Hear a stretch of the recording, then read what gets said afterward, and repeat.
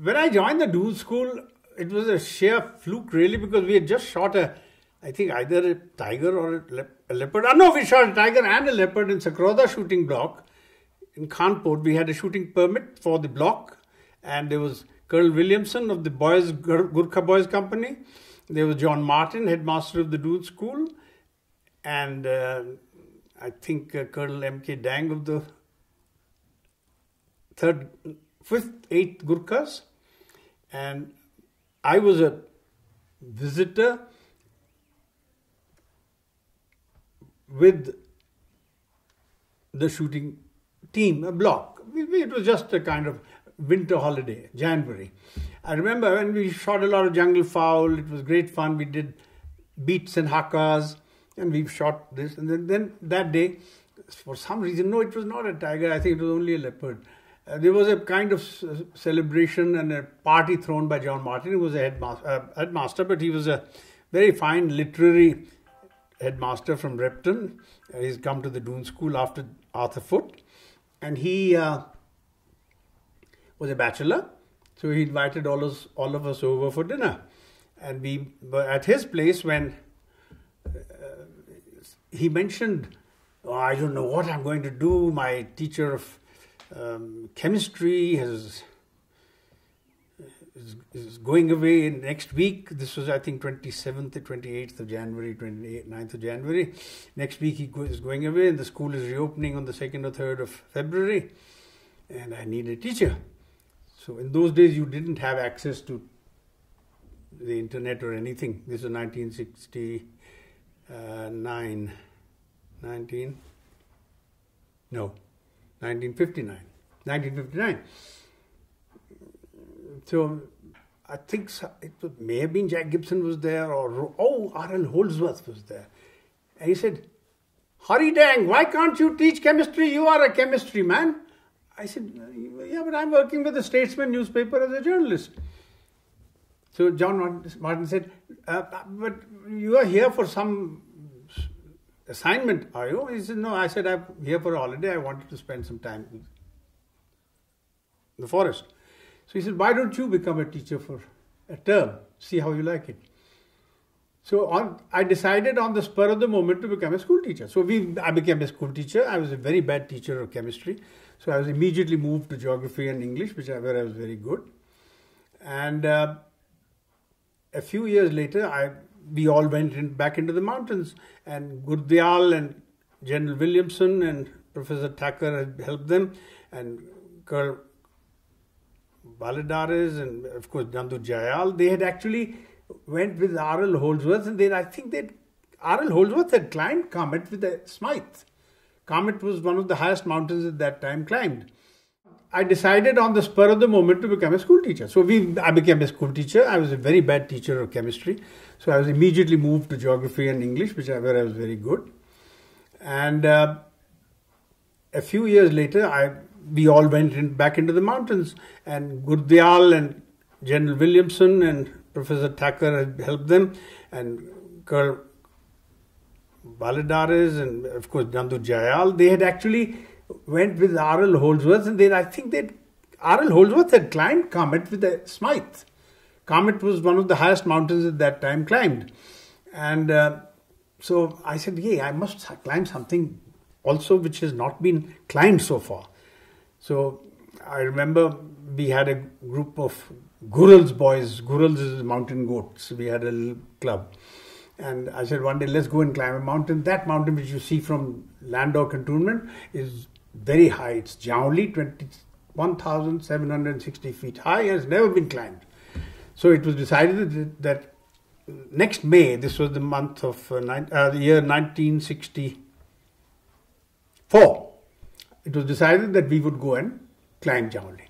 So we left in May, uh, 14 boys, myself, uh, five, six teachers, and two army officers from the Bengal sappers. One of them was a doctor. And we had very little money, but we all pooled in resources. And some Doon School old boys gave us some uh, sweets, and someone gave us some uh, equipment, and someone I remember at Tagore's family or someone gave us chatas, umbrellas for the expedition, and we all went for this thing. On the way, uh, before we had gone, we were told in the Doon School Weekly by, I think, Mr. Professor Ram Rahul, who was had some experience in the Western Himalaya. He was, I think, a geography man or a sociology man, and he was uh, guiding Justice William O. Douglas, who was, I think, Supreme Court, not Chief Justice of the U.S. Supreme Court, but a judge of the Supreme Court of the United States, who was also a mountaineer. That there is no Jaonli and there is no glacier called Jaonli because from the Gangotri Glacier you have the uh, range of the uh, the, the Mecha and the goes into the Khatling Bamak and I said but we have got a map a topo sheet 4 inch topo sheet of the 1936 survey made by Gordon Osmaston and in that we have actually seen the glacier between the Gangotri Glacier and the south of Mecha Glacier, I forget the name, and that is the Jaonli Bamak. And from the Jaonli Bamak comes a stream called the Jaonli Gar, Lodh Gad, and it goes up into a 13 kilometer long glacier called the Jaonli Bamak, which descends from the peak called Jaonli, Jaonli 1 and Jaonli 2. So I was criticized for being a bad geographer, but we went and actually went up to almost to the 500 feet short of the summit. There was a massive slab avalanche, so we came down and we couldn't reach the summit in 1964. So we went again in 1965. Again, there was a different group of boys. One of them recently retired as Director General Military Operations, and another retired as, I think, Vice Chief of the Air Staff or something. Because these boys who all grew up recently I've seen meeting them all over the place. And they're all beginning to retire. And uh, in 1965, we again went up. We had a number of teachers, and we had uh, John Martin came with us, R.D. Singh, Shilvora, they came with us. And we again could not get to the top, though I managed to ski down part of that 13 kilometer glacier, which was pretty rough going, but I'm not a good skier, but I enjoyed it and we came back. Expeditions are great fun, and the boys love it, and they grow up to be so much better after such an expedition because there's a lot of hardship, there's a lot of camaraderie, there is a lot of integrity, there's a lot of, you know, that outward bound spirit. That uh, studies are very good, but you need to break away for a few weeks or a month or two. And um, so life went on. And again in 1966, we went this time. Um, I, Mrs. Dang, I had got married, I think, and she came with us to look after the base camp. And we went again in 1966, going over a ridge and then going up the Lodh also. We had lots of usual excitement and adventurous active, uh, experiences all the way. Uh, bridges collapsing, snow bridges melting. And we managed this time to establish two, three camps. And uh, we, we, we found that we sent out either two or three summit teams, and all three climbed. I think Parvez Mervanji went on the first one with me. Parvez has died now. He's a Doon School boy. And the second one we had Krishna Chowdhury, he's also recently died. He was a manager of Mimti Estate in Darjeeling. A Doon School boy. His mother was Manisha Chowdhury, teaching at St. Paul's as a music teacher. She was the, I think, sister of Jambu Chowdhury, Jumbo Majumdar, the great Air Force hero, whose medals have recently been acquired by the Indian Air Force.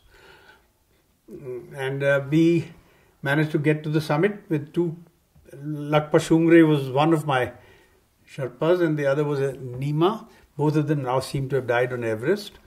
But we were able to successfully, I think eight or nine or ten of us climbed Jaonli, and we came back successfully, and all the members climbed Mecha, which is a much low, lower peak. I think it's either 16 or 17. But everyone went up and climbed it. And so it was a very successful expedition. The school boys, we called it the schoolboys Jaonli expedition or something like that. Then after that, we took out many other schoolboys from all the schools of India uh, to, to climb Black Peak and Bandarpunch. And that was typically Doon School, you know, doing out things, a little bit of um, extension work for all the other schools of India so that they could all go into mountaineering and adventure sports. After that, everything became very, very commercialized, and everybody started climbing mountains because they were in the army, in the the, the, uh, the navy or the army or the air force or the Um, ITBP or something, and unless it was ITBP, which was actually part of their work, they the the climbing became very very focused on results. Whereas in, at the Doon School, the way it had begun, if you recall that book for hills to climb and hard work to do, for hills to climb, it was actually something which was of the soul. You were growing up and you were climbing mountains and you were shooting and fishing and doing whatever you were doing as for not for the results but because of what you enjoyed doing. So I am still hoping that eventually now we shall all become a little more simple and innocent in our ways and everybody who's young will have an access to all the nice things we've exciting things we've done successfully